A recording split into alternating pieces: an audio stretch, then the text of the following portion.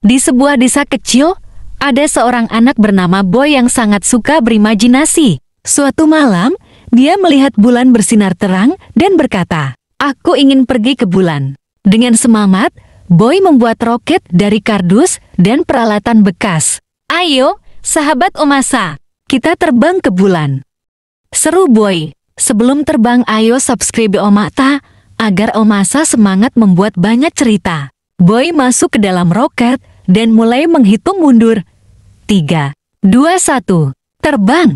Dengan imajinasi yang kuat, roket meluncur ke langit. Setelah perjalanan yang seru, roket mendarat di permukaan bulan. Di sana, Boy melompat-lompat di atas permukaan lunak dan melihat bintang-bintang yang bersinar. Lihat, sahabat Omasa, kita bisa membuat istana pasir di sini, kata Boy sambil menggali pasir bulan. Boy bermain dan berlari-lari hingga tiba saatnya pulang dan kembali ke rumah.